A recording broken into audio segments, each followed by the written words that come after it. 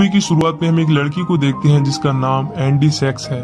Andy का एक safe boyfriend है जिसका नाम नेट है। एंडी नेट के साथ ही उसके अपार्टमेंट में रहती है। एंडी ने नॉर्थ वेस्टर्न यूनिवर्सिटी से एक जर्नलिस्ट की पढ़ाई की है और अब उसे एक नौकरी चाहिए। एंडी का आज एक इंटरव्यू होता है रनवे नामक एक फ़ेमस मैगजीन कंपनी में। एंडी जब रनवे मैगजीन में जाती है तो सबसे पहले उसकी मुलाकात होती है एमिली से, जो मिरांडा प्रिस्टली की सीनियर असिस्टेंट है। अब सबसे पहले मिरांडा, जो कि रनवे मैगजीन की एडिटर इन चीफ है, और एमिली उसकी सीनियर असिस्टेंट है। एंडी का आज इंटरव्यू था मिरांडा की जूनियर असिस्टेंट के रूप में। अब ऐसा इसीलिए होता है क्योंकि मिरांडा ने दर्जनों जूनियर असिस्टेंट को जॉब से निकाल दिया था, क्योंकि वो अपने काम में परफेक्ट नहीं थी। यहाँ एमिली एंडी को बताती है कि इस जॉब के लिए लाखों लड़कियाँ मरती हैं। अब इससे हम समझ पाते हैं कि रनवे मैगजीन कितनी बड़ी और फ़ेमस कंपनी है। साथ ही ये जॉब भी हाई सैलरी वाली थी। यहाँ एमिली को एक मैसेज मिलता है जिसमें उसे पता चलता है कि मिरांडा आ रही है। ये सुनते ही रनवे मैगजीन के सभी वर्कर्स टेंशन हो जाते हैं और अपना काम करने लगते हैं। एंडी एमिली से पूछती है कि मिरांडा कौन है? इस पर एमिली एंडी पर भड़क जाती है और कहती है कि क्या तुम्हें इस कंपनी की एडिटर इन चीफ के बारे में नहीं पता? तब तो तुम्हें ये जॉब नहीं मिलने वाली। दूसरी तरफ़ मिरांडा ऊपर आने के लिए लिफ्ट पकड़ती है कि तभी दूसरी औरत मिरांडा को सॉरी बोलती है और इस लिफ्ट से निकल जाती है। ऐसा इसीलिए होता है क्योंकि मिरांडा थोड़ी मूडी है और थोड़ी साइको है, जैसे कि कोई बॉस अपने वर्कर्स को सताता है। फिर मिरांडा ऊपर पहुँचती है तो एमिली उसे आज के सारे अपॉइंटमेंट और काम रिवाइज कराती है। मिरांडा की नज़र एंडी पर जाती है और कहती है कि ये कौन है? एमिली बताती है कि ह्यूमन रिसोर्स वालों ने जूनियर असिस्टेंट की जॉब के लिए इसे भेजा है, पर यह बेकार है। मिरांडा कहती है कि इसे इंटरव्यू के लिए अंदर भेजो। एंडी अंदर जाती है तो मिरांडो से घूरने लगती है। ऐसा इसीलिए होता है क्योंकि रनवे मैगजीन एक फ़ैशन डिज़ाइनिंग कंपनी है और यहाँ काम करने वाला हर एक वर्कर बहुत ही लहजे और अपने फ़ैशन सेंस को संभाल कर आता है। पर एंडी यहाँ आई थी जैसे वो किसी जर्नलिस्ट की जॉब के लिए यहाँ आई हो। यहाँ मिरांडा एंडी से दो तीन सवाल पूछती है, जैसे कि क्या तुमने रनवे मैगजीन के बारे में सुना है या मेरे बारे में? इस पर एंडी कहती है कि नहीं। मिरांडा एंडी से ये सब इसीलिए पूछती है क्योंकि अगर एंडी मिरांडा के बारे में जानती तो वो जो इंटरव्यू के लिए इस तरह के ड्रेसअप में कभी नहीं आती। एंडी मिरांडा से कहती है कि उसने कॉलेज जर्नलिस्ट में नेशनल कंपटीशन जीता है। इस बात से मिरांडा को जरा भी फ़र्क नहीं पड़ता क्योंकि रनवे मैगजीन नामक इस फ़ैशन डिज़ाइनिंग कंपनी में जर्नलिस्ट की ज़रूरत है ही नहीं। इसीलिए मिरांडा इंटरव्यू को खत्म करती है। जाते जाते एंडी मिरांडा से कहती है कि मैं स्मार्ट हूँ। अगर आप ये जॉब मुझे दे देंगी तो मैं जल्द ही सीख जाऊँगी। इतने में नाइजिल आ जाता है, जो कि रनवे मैगजीन के बड़े वर्कर्स में आता है। बिल्कुल मिरांडा की तरह। यह मिरांडा एंडी पर ध्यान नहीं देती, जिसके बाद एंडी यहाँ से चली जाती है।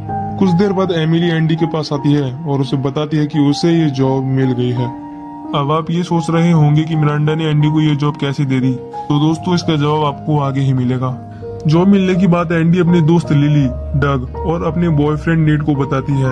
एंडी के दोस्त और बॉयफ्रेंड एंडी को इतनी हाई पेइंग जॉब के लिए कॉन्ग्रेचुलेट करते हैं। अगली सुबह छह बज के पंद्रह मिनट पर ही एंडी को एमिली का कॉल आ जाता है, जहाँ एमिली एंडी से कहती है कि उसे आते हुए स्टारबक्स कॉफ़ी लानी होगी। एंडी जल्दी जल्दी रेडी हो जाती है और जाते हुए कॉफ़ी लेती है।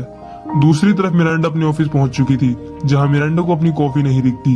कुछ ही देर में एंडी यहाँ पहुँच जाती है, जिसके बाद एमिली उससे कहती है कि अगर उसे यहाँ टिकना है तो उसे परफेक्ट होना पड़ेगा, हर चीज़ में। इसके बाद एमिली मिरांडा को उसकी कॉफ़ी देती है और एंडी को उसका काम समझाती है।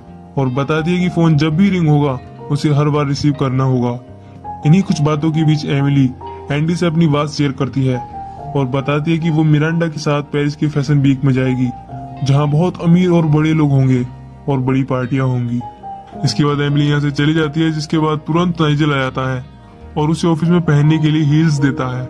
पहले तो एंडी उन्हें एक्सेप्ट नहीं करती और कहती है कि मैं जैसी हूँ, वैसे ही मिरांडा ने मुझे ये जॉब दी है। मुझे हील्स की ज़रूरत नहीं है। नाइजल तब भी एंडी को हील्स दे देता है। मीन मिरांडा एमिली को पुकारती है, पर एमिली यहाँ नहीं थी। नाइजल एंडी से कहता है कि वो तुम्हें बुला रही है। एंडी अंदर जाती है तो मिरांडा उसके जूतों की तरफ़ देखने लगती है और कहती है, मिस्टर डिमार्ची को फ़ोन लगाओ। एंडी बाहर आती है और सबसे पहले हील्स पहनती है जो नाइजल ने दी थी। मिरांडा फिर से एंडी को आवाज़ देती है और कहती है कि क्या तुमने मिस्टर डिमार्ची को कॉल लगाया? एंडी घबरा जाती है क्योंकि उसे ये सब नहीं पता था। इतने में एमिली यहाँ आ जाती है और मिस्टर डिमार्ची को फ़ोन लगाकर मिरांडा को बताती है। फ़िलहाल तो एमिली एंडी को बचा लेती है। इसके बाद मिरांडा एंडी को स्टारबक्स कॉफ़ी और कुछ शॉपिंग के लिए भेजती है। एमिली एंडी को इंस्ट्रक्ट करती है और मिरांडा द्वारा कहा गया हर सामान एंडी से मंगा लेती है। इस सब के बाद एमिली और बाकी सभी वर्कर्स का लंच टाइम होता है। एमिली के बाद एंडी लंच के लिए जाती है, जहाँ उसे नाइजल मिलता है। इससे पहले कि एंडी अपना लंच ओवर करती। नाइजल को मिरांडा के एक मैसेज मिलता है, जिसमें उन्हें पता चलता है कि मिरांडा इन्हें बुला रही है। ये दोनों एलिवेटर में जाते हैं, जहाँ इनकी मुलाकात एलियस क्लर्क के चेयरमैन इर्व रेविड से होती है। आगे बढ़ने से पहले मैं एलिस क्लर्क के बारे में बता देता हूँ। तो एलिस क्लर्क एक पब्लिकेशन कंपनी होती है, जिसमें रनवे मैगजीन शामिल है। Back to the story. यह नाइजल इर्व को एंडी से इंट्रोड्यूस कराता है और बताता है कि यह मिरांडा की नई जूनियर असिस्टेंट है। इर्व एंडी को उसकी जॉब के लिए कॉन्ग्रेचुलेट करता है और कहता है कि इस जॉब को पाने के लिए लाखों लड़कियाँ मरती हैं। जितना सब कुछ एंडी के साथ ये हो रहा था, एंडी भी ये बात समझ गई थी। खैर, ये दोनों मिरांडा के पास पहुँचते हैं। यहाँ एक वर्कर मिरांडा को दो बेल्ट दिखाती है और कहती है कि इनमें से कौन सा ठीक रहेगा। अब ये दोनों बेल्ट एक जैसी दिख रही थी, इसीलिए एंडी हंस पड़ती है और कहती है कि ये दोनों सेम है, इनमें से किसी एक को चूज़ करने की क्या ज़रूरत है? कोई भी चूज़ कर सकते हैं। मिरांडा को ये सब अच्छा नहीं लगता जिसके बाद वो एंडी को काफ़ी कुछ सुना देती है और कहती है कि ये दोनों सेम नहीं है। इसी रात एंडी अपने फ़र्स्ट डे जॉब एक्सपीरियंस को नेट के साथ शेयर करती है और उसे बताती है कि उसकी बॉस यानी मिरांडा कैसी है। अगले दिन एंडी अपनी जॉब पर जाती है। मिरांडा आती है और अपना कोट एंडी की डेस्क पर डालती है। यही सिलसिला महीनों तक तो चलता है। मिरांडा आती है, अपना कोट एंडी की डेस्क पर डालती है। एंडी वही दिनचर्या हर रोज करती है। इसी तरह एंडी को रनवे में काफ़ी समय हो जाता है। समय के साथ साथ एंडी काफ़ी कुछ सीख लेती है। एक दिन मिरांडा अपने काम को लेकर माया मायामी जाती है। एंडी का वैसी वीकेंड अपने पिता के साथ डिनर था। इसीलिए वो काफ़ी एक्साइटेड थी। अगले सीन में हम एंडी को उसके पिता रिचर्ड के साथ देखते हैं, जहाँ रिचर्ड एंडी से कहते हैं कि तुम एक जर्नलिस्ट बनने वाली थी, पर तुम इस वक्त कुछ और ही कर रही हो। एंडी अपने पिता को समझाती हुई कहती है कि ये जॉब उसके लिए एक अच्छी अपॉर्चुनिटी है। मीन एंडी को एक कॉल आता है जो कि मिरांडा का होता है। मिरांडा एंडी से कहती है, मेरी फ़्लाइट कैंसिल हो गई है, क्योंकि यहाँ का मौसम खराब है। लेकिन फिर भी मुझे न्यूयॉर्क आना है। ये बात सुनकर एंडी अपने पिता के साथ डिनर के बीच ये बात सुनकर एंडी अपने पिता के साथ डिनर को बीच में ही छोड़ती है और मिरांडा के लिए किसी प्राइवेट जेट का इंतज़ाम करने लगती है। बहुत कोशिशों के बाद एंडी मिरांडा के लिए किसी भी जेट का इंतज़ाम नहीं कर पाती। जब मिरांडा मायामी से वापस आती है तो एंडी को खरी खोटी सुनाते हुए काफ़ी बुरा भला कहती है। ये सब सुनकर एंडी की आँखों में आँसू आ जाते हैं। एंडी रोती हुई सीधे नाइजिल के पास आती है और मिरांडा की बुराई करने लगती है। जैसे कि एंडी जब कोई काम ठीक करती है, तब मिरांडा एंडी को थैंक यू तक नहीं बोलती। लेकिन अगर कोई काम बिगड़ जाता है तो एंडी को बुरा भला कहती है। इस पर नाइजिल एंडी को समझाते हुए कहता है कि मिरांडा ऐसी ही है। वो नहीं बदलेगी और वो अपने काम में परफेक्ट है। अगर यहाँ किसी को बदलने की ज़रूरत है तो वो तुम हो। एंडी नाइजिल की बातों पर ध्यान देती है और समझती है कि उसे बदलना होगा। अगर उसे मिरांडा से थोड़ी सी भी इज़्ज़त चाहिए तो। यहाँ एंडी नाइजल से अपने लिए कुछ कपड़े लेती है। दूसरी तरफ़ एमिली को लग रहा था कि शायद एंडी ये जॉब छोड़ देगी। लेकिन तभी एंडी की एंट्री होती है, जिसे देखकर एमिली का मुँह खुला रह जाता है, क्योंकि एंडी का लुक एंड फ़ैशन पूरी तरह से बदल गया था, जिस वजह से वो काफ़ी अट्रैक्टिव लग रही थी। अब एंडी हर रोज एक नई फ़ैशन स्टाइल में आने लगी। जिसे देखकर मिरांडा भी एंडी से काफ़ी इम्प्रेस होने लगी। एक दिन एंडी अपने दोस्तों को कुछ गिफ्ट देती है, जो उसे उसकी बॉस मिरांडा ने दिए थे। कुछ देर बाद एंडी को मिरांडा का कॉल आता है, जिसके बाद एंडी तुरंत यहाँ से निकलकर जेम्स होल्ट नामक एक उभरते हुए फ़ैशन डिज़ाइनर के यहाँ जाती है, ताकि वो जेम्स से मिरांडा द्वारा मंगाई गई स्केच बुक को ले जाए। यही एंडी की मुलाकात होती है क्रिश्चियन थॉम्सन नामक एक मैगजीन राइटर से। पहले तो एंडी शौक हो जाती है, क्योंकि क्रिश्चियन काफ़ी मशहूर राइटर था। काफ़ी देर की बातचीत के बाद एंडी क्रिश्चियन को बाय कहकर चली जाती है। अब धीरे धीरे एंडी ने मिरांडा के मन में अपनी जगह बना ली थी। इसीलिए इतने महीनों में पहली बार मिरांडा एंडी को अपने घर बुक लाने के लिए कहती है। दरअसल एमिली ही हर बार मिरांडा को बुक देने के लिए जाती थी, लेकिन इस बार ये मौका एंडी को मिला था। एंडी रात को एमिली से मिरांडा के घर की चाबी लेती है, जिसके बाद एमिली मिरांडा को समझाती है कि उसे चुपचाप घर में जाकर बुक को एक टेबल पर रखना होगा जहाँ फूल रखे होंगे। अगर तुम्हें मिरांडा ने गलती से भी देख लिया तो मिरांडा नाराज़ हो जाएगी। यही नियम फॉलो करते हुए एंडी मिरांडा के घर जाती है। लेकिन एंडी यहाँ घबरा जाती है क्योंकि यहाँ कई टेबल्स थी, जिनके ऊपर फूल रखे हुए थे। एंडी को यहाँ किसी की आवाज़ आती है, जो और किसी की नहीं, बल्कि मिरांडा की दो ट्विंस बेटियों की थी। यहाँ ये ट्विंस एंडी से कहते हैं कि वो बुक देने के लिए ऊपर आ सकती है।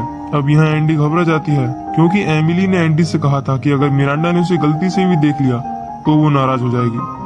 खैर, यहाँ एंडी घबराते हुए ऊपर चली जाती है। तभी एंडी देखती है कि मिरांडा और उसका पति झगड़ रहे थे। एंडी चुपके से अपने कदम पीछे लेती है कि तभी मिरांडा उसे देख लेती है।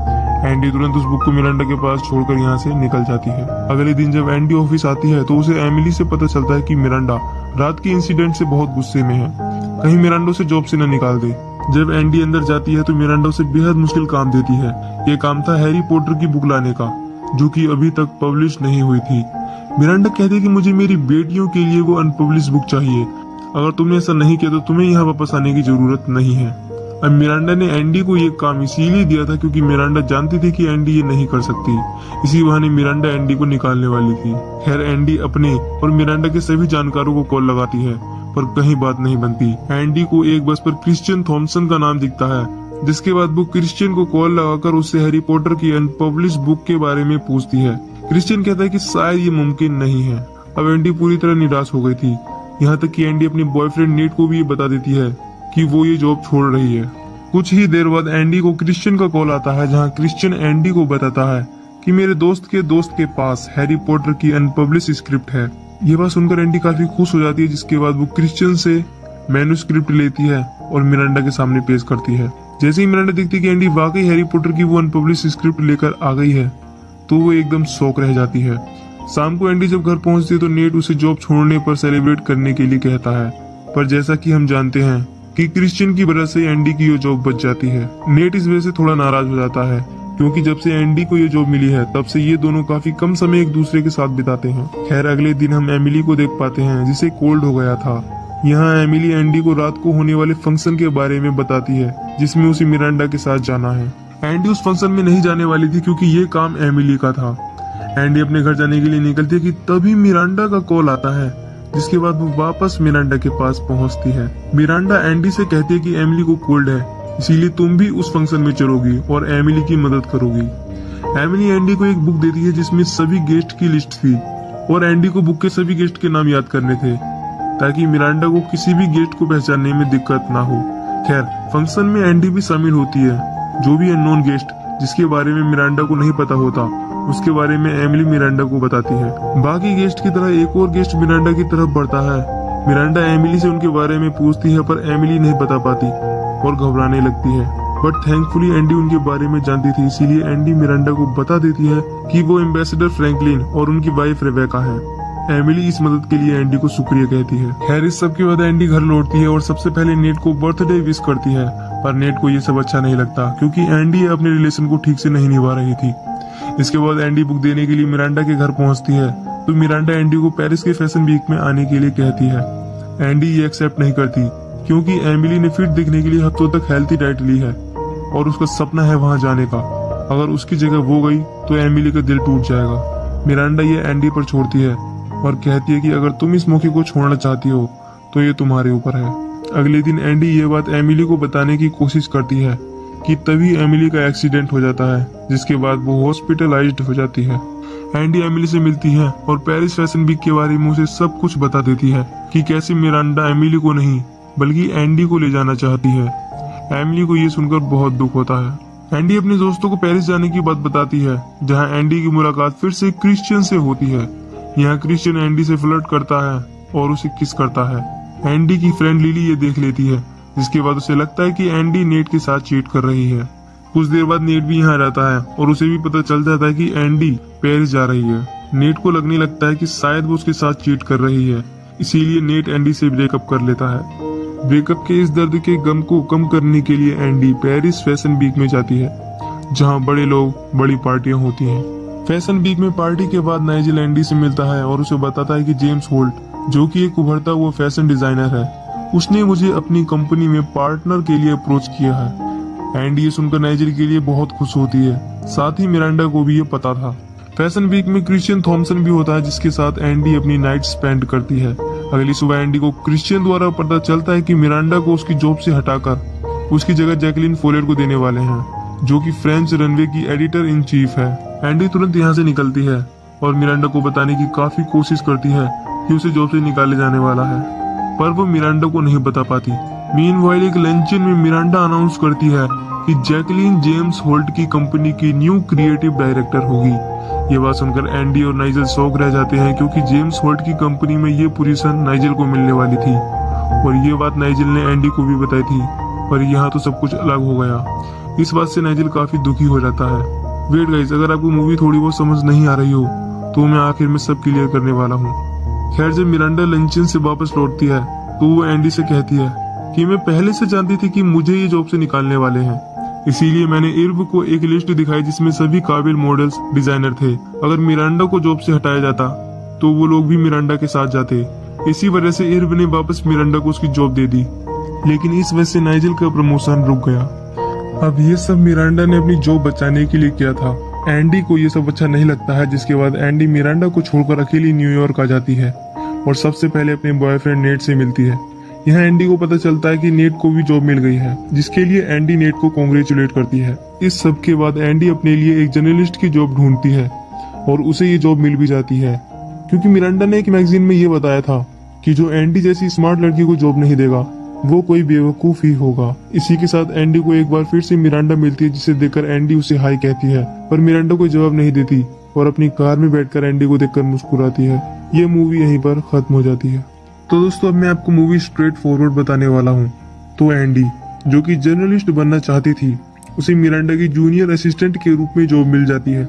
और मिरांडा ने ये जॉब एंडी को इसीलिए दी थी, क्योंकि मिरांडा ने किसी ऐसे को एक्सपीरियंस नहीं किया था जो फ़ैशन को नहीं जानता हो। यहाँ तक कि शुरुआत में एंडी को तो मिरांडा कौन है, ये भी नहीं पता था।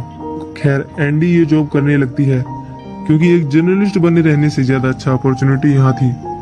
धीरे धीरे एंडी अपने काम में परफेक्ट हो जाती है, पर इस वजह से वो नेट को टाइम नहीं दे पाती। एक दिन एमिली एक फ़ंक्शन में एक गेस्ट का नाम नहीं बता पाती, जिस वजह से मिरांडा को लगता है कि वो पेरिस फ़ैशन वीक में जाने के लिए परफेक्ट नहीं है।